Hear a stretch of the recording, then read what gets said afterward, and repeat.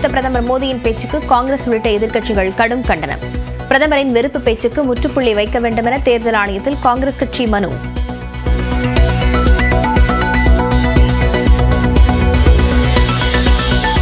தோல்வி பயத்தில் மத உணர்வுகளை பிரதமர் மோடி தூண்டுவதாக முதலமைச்சர் மு க ஸ்டாலின் விமர்சனம். தேர்தல் ஆணையம் வெட்கமின்றி நடுநிலையை கைவிட்டுள்ளதாகவும் கண்டனம்.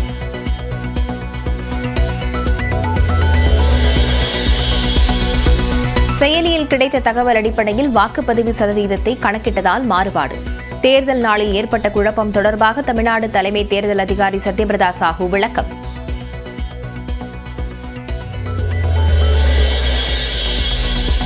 பச்சை பட்டுடுத்தி வைகை ஆற்றில் இறங்கினார் கள்ளழகர். கோவிந்தா முழக்கத்துடன் லட்சக்கணக்கான பக்தர்கள் தரிசனம்.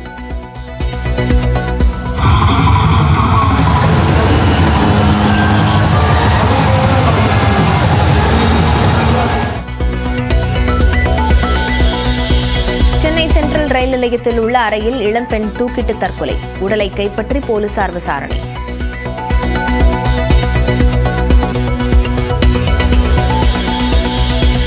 குஜராத் மாநிலம் சூரத் தொகுதி எம்பியாக பாஜகவின் முகேஷ் தலால் போட்டியின்றி தேர்வு. காங்கிரஸ் வேட்பாளர் மனு தள்ளுபடியான நிலையில் மற்ற வேட்பாளர்களின் மனுக்களை திரும்பப் பெற்றனர். ஐபிஎல் தொடரில் ஜெய்ஷ்வால் அதிரடி சதத்தால் மும்பையை வீழ்த்திய ராஜஸ்தான். இருநூறு விக்கெட்டுகளை வீழ்த்தி ராஜஸ்தானின் ஷஹல் சாதனை.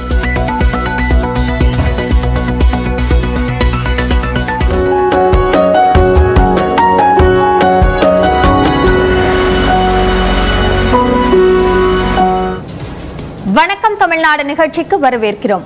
ஒவ்வொரு முக்கியமான செய்திக்கு பின்னால் இருக்கக்கூடிய பின்னணி தகவல்கள் அதன் அடிப்படையில் ஏற்படக்கூடிய பல கோணங்கள் இவற்றை பகுப்பாய்வு செய்து வழங்கக்கூடியதுதான் இந்த நிகழ்ச்சி. இதில் முதலாவதாக நாம் இன்றைக்கு இரண்டு அண்டை மாநிலங்களில் நடக்க போகக்கூடிய மக்களவை தேர்தல் அங்கு களத்திலிருந்து விவரங்களை வழங்குவதற்காக நம்முடைய செய்தியாளர்கள் ரகுவரன் கேரளாவிலிருந்தும் அதே போன்று கர்நாடகாவிலிருந்து நந்தா ஆகியோர் அங்கிருக்கக்கூடிய கள நிலவரங்களை வழங்குவதற்காக காத்திருக்கிறார்கள். அவர்களோடு முதலில் பேசலாம்.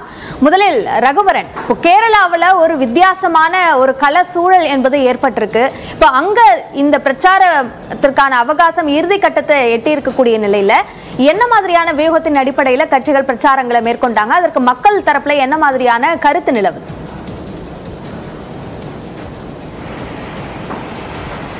அதாவது நாளையோடு இந்த கேரளாவினுடைய பிரச்சாரம் முடிய இருக்கக்கூடிய சூழ்நிலையில் தலைவர்கள் தலைவர்கள் எல்லாம் கேரளாவை நோக்கி வர தொடங்கி இருக்கிறாங்க குறிப்பாக பார்த்தீங்கன்னா காங்கிரசினுடைய தலைவர் மல்லிகார்ஜுன கார்கே அவர்கள் வந்து இன்று மாலை வயநாடுக்கு வர இருக்கிறார். அதே போன்று பிஜேபியில் பார்த்தீங்கன்னா மத்திய அமைச்சர்கள் மற்றும் அசாம் மாநிலத்தினுடைய முதலமைச்சர் கூட ரோட் ஷோலாம் நேற்று போயிருந்தாங்க. இன்று வந்து வயநாட்டில் பாஜகவினுடைய வேட்பாளர் ரோட் ஷோ போக இருக்கிறாரு. ஆனால் இவங்க ஏற்கனவே கடந்த காங்கிரஸ் ஆட்சி காங்கிரஸ் எம்எல்ஏ இங்க இருந்த எம்பி இருந்த நிலையில் இங்கு வளர்ச்சி திட்டங்கள் எதுவுமே செயல்படுத்தப்படலை அப்படின்றது தான் பிஜேபியினுடைய பேச்சாக இருக்குது குறிப்பாக பார்த்தீங்கன்னா ரயில்வே ஸ்டேஷன் இங்கே கொண்டுட்டு வரல. ஒரு மெடிக்கல் காலேஜ் இவ்வளோ பெரிய மாவட்டம் இவ்வளோ மக்கள் இருந்தாலும் இங்கே ஒரு மெடிக்கல் காலேஜ் இல்லை அப்படின்றது வந்து மக்களுடைய எதிர்பார்ப்பாக இருக்கக்கூடிய நிலையில் அதை நாங்கள் கொண்டு வருவோம் அப்படின்னு சொல்லிட்டு அதை முக்கியமாக முன்னிறுத்தி பிரச்சாரத்தை வந்து பிஜேபி முன்னெடுத்து இருக்கிறத பார்க்க முடிகிறது. நேற்று அதே போன்ற பார்த்தீங்கன்னா கம்யூனிஸ்ட் கட்சியின் சார்பாக இதே குரல் தான் எடுப்பப்பட்டது ஆதிவாசி மக்கள் அதிகமாக தாக்கப்படுறாங்க. ஏன்னா இங்க பத்து சதவீதத்திற்கு மேல் பாத்தீங்கன்னா பழங்குடியின மக்கள் இருக்கிறாங்க. அதனால அவங்களுக்கான தேவைகளை நிவர்த்தி செய்வது முக்கியமாக இருக்கின்ற கம்யூனிஸ்ட் கட்சியின் சார்பாக ஒரு பிரச்சாரம் வைக்கப்பட்டாலும் வளர்ச்சி திட்டங்கள் குறித்து பிஜேபி முன்வைக்கப்படுகிறது. காங்கிரஸ் கட்சியின் சார்பாக முக்கிய தலைவர் பிரதான தலைவர் நாங்கள் வளர்ச்சி திட்டங்களை நாங்களும் கொண்டு வருவோம் என்றும் பல ஒவ்வொரு கட்சியும் அவர்கள் ஆட்சிக்கு வந்தால் என்ன செய்வோம் என்பதை முன்னிறுத்தி பிரச்சாரத்தில் ஈடுபட்டிருக்கிறார்கள். அதே போன்று முக்கிய தலைவர்களும் இங்கே வயநாடு தொகுதியில் முக்கியமாக ராகுல் காந்தி போட்டியிடுவதன் காரணமாக அனைத்து தலைவர்களும் முக்கியமாக இன்று மாலையிலிருந்து இங்கே வர தொடங்க இருக்கிறார்கள் அபிநயா. நன்றி ரகுவரன். கேரளாவில் என்ன சூழல் என்பது சார்ந்த விவரங்களுக்கு அடுத்ததாக கர்நாடகாவில் இருந்து இணைந்திருக்கக்கூடிய நம்முடைய செய்தியாளர் நந்தாவிடம் பேசலாம். நந்தா இப்ப கர்நாடகாவில் மாநில தேர்தலில் காங்கிரஸ் பெருவாரியாக வெற்றி கண்டார்கள். அதனுடைய பிரதிபலிப்பு இந்த தேர்தலில் இருக்கும்னு எதிர்பார்க்கிறாங்களா? என்ன எதிர்பார்ப்பு இருக்கு? அதே மாதிரி பிரச்சார வியூகங்கள் என்னவாக இருந்திருக்கு?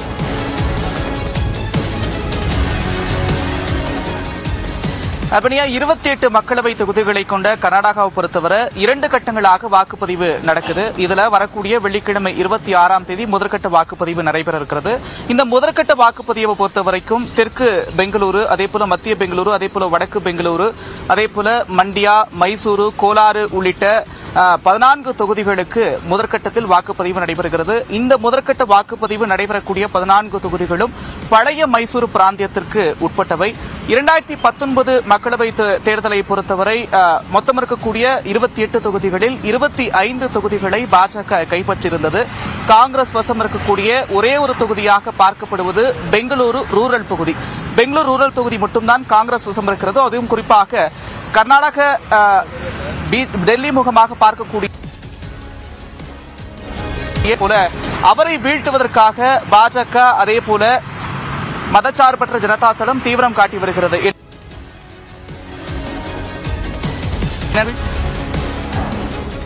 இரண்டு தேசிய கட்சிகளுக்கான ஒரு நேரடி போட்டியாக கர்நாடகாவில் எப்போதுமே இருக்கும். அப்படியான ஒரு சூழல் தான் தற்போதும் நிகழ்ந்து கொண்டிருக்கிறது. சார்ந்த விரிவான விவரங்களுக்கு நன்றி நந்தா.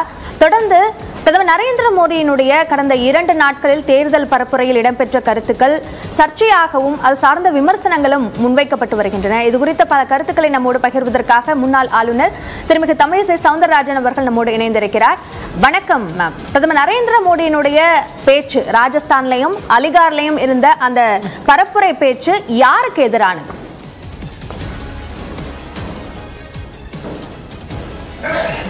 யாருக்கும் எதிரானதல்ல. மரியாதைக்குரிய பாரத பிரதமர் அவர்களின் பேச்சு. யாருக்கும் எதிரானதல்ல. மக்களுக்கு ஆதரவான பேச்சு என்பதைத்தான் நான் இங்கே தெளிவுபடுத்துகிறேன். ஏனென்றால் அவர் தானாக முன்வந்து அந்த கருத்தை சொல்லவில்லை. காங்கிரசின் தேர்தல் அறிக்கையில் குறிப்பிட்டதற்கு எதிர்வினையாக அவர் அந்த கருத்தை பதிவு செய்திருக்கிறார். ஏனென்றால் இரண்டாயிரத்தி ஆறு டிசம்பர் மாதத்தில் பேசிய மன்மோகன் சிங் இந்த நாட்டின் செல்வங்களிலும் சொத்துக்களிலும் முதல் உரிமை சிறுபான்மையினருக்கு இருக்கிறது என்று அவர் சொல்லியிருக்கிறார். அதே போல சமீபத்தில் ராகுல் காந்தி பேசும்பொழுது இந்துஸ்தானத்தில் உள்ள அத்தனை பேரின் சொத்து மதிப்பையும் எடுத்து அவர்களை பகிர்ந்து கொடுக்கப்படும் என்றும் சொல்லியிருக்கிறார். உதாரணத்திற்கு அவர்கள் ஆட்சி செய்கின்ற கர்நாடகாவில் கோயில்களின் சொத்து எப்படி பரவலாக எடுத்து மற்றவர்களுக்கு கொடுக்கப்படுகிறது என்றும் சிறுபான்மை நிறுவனங்களில் உள்ள சொத்துக்கள் அவர்களுக்கு மட்டுமே கொடுக்கப்படுகிறது என்பதும் புள்ளி விவரத்தோடு இன்று இணையதளத்தில் வந்திருக்கிறது. அதே போலதான் தமிழகத்திலும். ஆக அப்படி இருக்கும் பொழுது மக்களுக்கான சொத்துக்கள் மக்களுக்காக இருக்க வேண்டுமே தவிர இவர்கள் தாஜா செய்வதற்காகவும் ஓட்டுகள் வாங்குவதற்காகவும் இவர்கள் யாருக்கு நேற்று கூட உள்துறை அமைச்சர் சொல்லியிருக்கிறார். இதில் முதல் உரிமை ஏழைகளுக்குத்தான் இருக்கிறது என்று. ஆக ஒட்டுமொத்தமாக மக்களுக்காக பேசியிருக்கிறார். நீங்கள் ராஜஸ்தானில் பேசியதை குறிப்பிட்டீர்கள். உத்தரப்பிரதேசத்தில் என்ன பேசியிருக்கிறார்? அதே அலிகார் யூனிவர்சிட்டியில் முதல் முறையாக ஒரு பெண் அவர்களை வைஸ் சான்சலராக நியமித்து இருக்கிறோம் ஆக இந்த வளர்ச்சியை காங்கிரஸ் கொண்டே வரவில்லை. இன்று பெண்கள் மட்டுமே இன்னைக்கு பெண்ணுரிமை எவ்வளவோ பேசிக் கொண்டிருக்கிறோம். பெண்கள் தனியாக ஹஜ்ஜுக்கு போக முடியாது என்பதுதான் காங்கிரஸ் ஆண்ட அரை நூறாண்டு காலமாக ஆண்டதின் பழக்கம். ஆனால் மரியாதைக்குரிய பாரத பிரதமர் சவுதி அரேபியாவில் இளவரசரோடு பேசி தனியாக பெண்கள் வருவதற்கான விசா தளர்வுகளை ஏற்படுத்தி அவர்களுக்கான எண்ணிக்கையை அதிகரித்து எவ்வளவோ செய்திருக்கிறார். ஆக பிரதமரின் பேச்சின் அடிகோல் என்ன என்றால் நாங்கள் உண்மையான வளர்ச்சியில் சிறுபான்மையினருக்கு பங்கு கொடுக்கிறோம். ஆனால் காங்கிரஸ் அவர்கள் அவர் ஊடுருவல்காரர்கள் என்பதையும் சொல்லி இருக்கிறார் ஆக அவர்கள் வாக்கு வங்கிக்காக அவர்களோடு சிறுபான்மையினோடு இருக்கிறோம் என்று பொய்யான ஒரு தோற்றத்தை ஏற்படுத்துவதற்காக அவர்கள் இப்படி சொல்வதை நான் கண்டிக்கிறேன் என்று சொல்லியிருக்கிறார். அதனால் இது மரியாதைக்குரிய பாரத பிரதமரின் பேச்சு. யாருக்கு எதிரானது என்று சொல்வதை விட மக்களுக்கு ஆதரவான பேச்சு என்பதைத்தான் நான் இங்கே உறுதியாக சொல்ல விரும்புகிறேன்.